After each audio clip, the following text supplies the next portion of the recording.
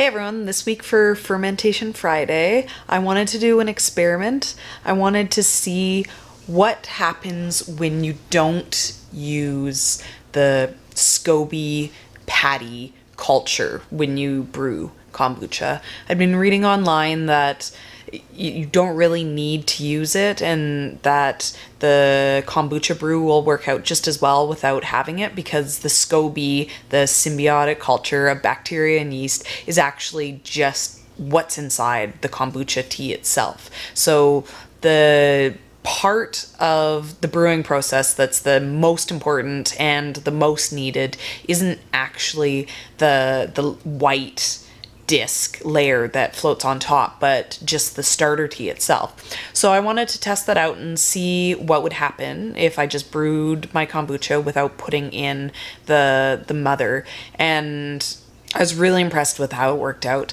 I have a diary of the a couple days process through and I actually grew my nicest SCOBY that I've I've ever had and I'm I'm really happy with it and it brewed just as quickly and there's there's a good chance that I probably won't keep using the the scobies over and over again. I'll maybe keep one floating on top, just keep you know, basically just a cover. I know my brew gets a little bit carbonated with having it on there, so you know, probably keep it going, but yeah, definitely very impressed and I hope that it'll help you guys out if you don't have access to the SCOBY too, if all you can get is some kombucha tea. So check it out. Alright, so it's been two days. I didn't even think to do any filming on this on the first day. But if you can see, there's already a little bit of a gel layer forming on there. You can kind of see when I move it, there's just a super thin little layer in there. Got a little bit of a uh, little bit of yeast that made it in. That's kind of building up over there in the corner. But yeah, amazed to see without there being the SCOBY in there that there already is so much going on. You can see a little bit of, of white stuff kind of right in the in the center of it there and that isn't anything to be worried about. That is just bubbles forming underneath that thin layer. So yeah pretty surprising amount of activity for just for just two days. I'm excited to see how long it's going to take to form this. I'm thinking it might actually only take about a week. Okay so I'm at day four now on this SCOBY being grown from only only kombucha. And it's it's looking pretty thick already. You can kind of see from the side here. It's not quite that thick. There's just a little bit of the liquid that covered it when I moved it. But there's a pretty good shot of the fact that there's there's a nice layer built up. Pretty pretty surprising to me because this, like I said, is only day four, so I didn't think there'd be that much. Over here I got a little bit of little bit of something going on. This is just the yeast that was inside of of my uh, kombucha and it kind of bubbled up and then stuck to the SCOBY that formed there. So this right here kind of lets me know that maybe I need to clean out my my uh, kombucha container because that is definitely too much yeast to be in there because there's also a little bit little bit of yeast sediment down on the bottom as well. But yeah, I mean, I'm gonna leave this for the full week and then I'll test it. But I'm I'm really surprised at how much of a SCOBY there is already. So we're at day eight on this, and as you can see, this has definitely gotten a pretty nice looking little little SCOBY forming on the top there.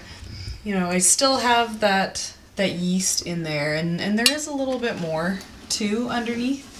You can kind of see it building up, but definitely nothing wrong with that. There's there's also a little bit of the yeast sediment down here on the bottom, but yeah, this no SCOBY, and then then look at that.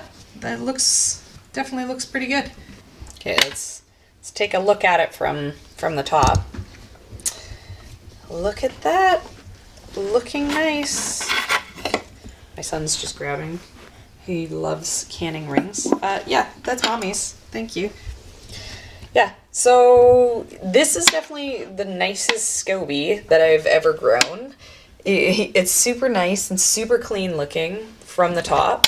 It has that nice creamy look of everyone else's that I'm always jealous of on the internet. And it smells really good. I haven't tasted this yet, but I am thinking that it is at the point that it's probably finished. And yeah, I mean, I definitely say they're right. You do not need anything except for kombucha to grow the the culture. And if anything, it seems like you know this if you have any issues with your culture that you have, you know, I'd, I'd just ditch it. You know, I'm almost thinking at this point, like, to have a to have a hotel is useful in case you do have an issue of you know fruit flies or anything getting inside of your your culture and then you have to ditch it. But i mean just having a second second container brewing at any given time seems like it's also going to do the exact same thing. So I would say pretty clear that no, you do not need you do not need the mother to have a proper jar of kombucha brewed, um, and that yeah, go for it. I, I, I mean, this is with my home brew, so I know that there was plenty of live culture inside of it. I would be interested in redoing this experiment again with a store bought, with a store bought culture, but yeah, pretty impressed with that SCOBY there. Okay, just to quickly show you the the SCOBY comparison. So this is what my my you know made from SCOBY culture top looks like. And then this is my made with just the kombucha culture top. So I mean, you can definitely see how nice that looks. This one's all weird, weird and foamy and dark, whereas this one's just that nice clean creamy creamy layer. Thanks so much for joining me this week.